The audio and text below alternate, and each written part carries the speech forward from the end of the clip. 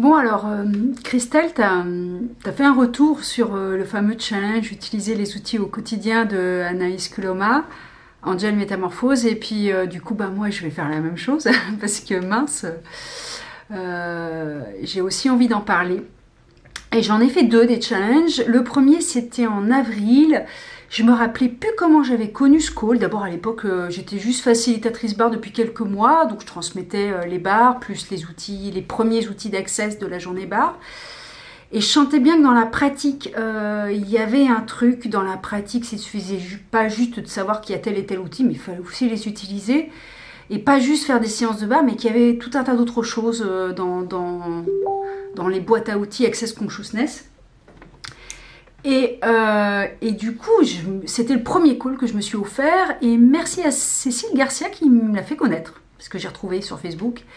Et du coup, moi aussi, j'ai envie de faire comme, euh, comme Cécile, j'ai envie de transmettre euh, l'opportunité que c'est d'avoir un, un call de groupe avec Anaïs Kuloma pour pratiquer les outils d'access consciousness au quotidien. Ou régulièrement, plusieurs fois dans la semaine, parce que c'est bien beau de connaître les outils. Ah ouais, il y a ça, il y a ça, il y a ça. Ah, t'as pensé à utiliser ça? Oh bah non, j'ai pas pensé. Euh, point de vue intéressant, etc., etc. Donc on connaît, on sait que ça existe, si on a fait la journée barre. Mais alors le truc de ah mais oui donc j'ai commencé à pratiquer j'étais un peu en retard euh, sur son call j'avais raté 3-4 séances il y a un week-end catastrophique où euh, mon ami m'a laissé en plan pendant un week-end de 3 jours pour aller avec ses amis et moi, je suis retrouvée toute seule, j'ai peint, euh, j'ai repeint une chambre en bleu. Et pendant que je repeignais la chambre, je rattrapais tous les calls en retard. J'écoutais Anaïs qui déblayait, qui déblayait, qui faisait des trucs avec les outils d'accès que que je connaissais pas encore bien à l'époque. Et euh, ça a été subtil, petit à petit, à la fin du week-end, les semaines d'après, j'ai vraiment remonté la pente. Genre, un mois après, je me payais fondation alors que je pensais pas me le payer avant plusieurs mois. Trois mois après, deux mois après, je me payais les trois jours corps. Et euh, il y a vraiment quelque chose qui s'est ancré dans la pratique. Euh, euh, et, depuis ce moment-là, j'arrête pas de faire des calls. Je me suis dit, oula, il y a un truc dans les calls.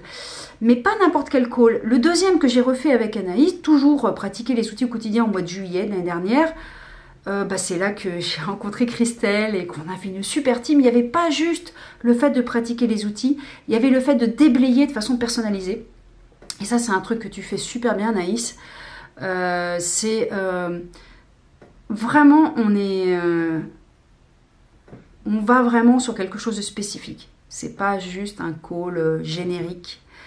Et il y a vraiment du déblayage systématique. Puis j'ai aussi découvert d'autres outils que je connaissais pas parce qu'elle est ou que j'avais pas l'habitude de pratiquer parce que au tout début j'avais pas fait fondation et, je, et franchement en plus je me suis rendu compte que ça marchait quoi c'est ça qui a changé. C'est vraiment. Euh, avant, je savais que ça marchait, mais euh, j'avais pas tout testé sur moi. Avec ce call, il y avait vraiment eu euh.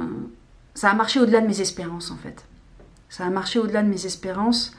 Et maintenant, je sais à tout moment que euh, quand toute seule, j'ai pas le réflexe de Ah, tiens, est-ce que j'ai pas tel, tel outil, renvoyer les expéditeurs, point de vue intéressant, tirage d'énergie, tac, tac, tac.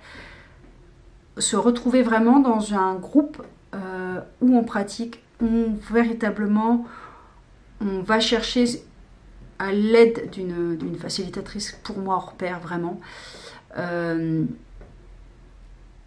prendre conscience de nos jugements qu'on ne voit pas tout seul, souvent, de nos croyances, de nos limitations, euh, et, et, déblayer, déblayer, déblayer, déblayer, déblayer. Et et je vais continuer à pratiquer et à participer à tes futurs challenges, Anaïs, parce que euh, j'ai envie d'aller encore plus loin. Et je vais aussi transmettre aux autres parce que j'ai envie que ça apporte, euh, ça leur apporte autant que ça m'a apporté. Euh, voilà, tout simplement. Hmm, parce que c'est que le début et comment ça peut être mieux que ça encore? Ciao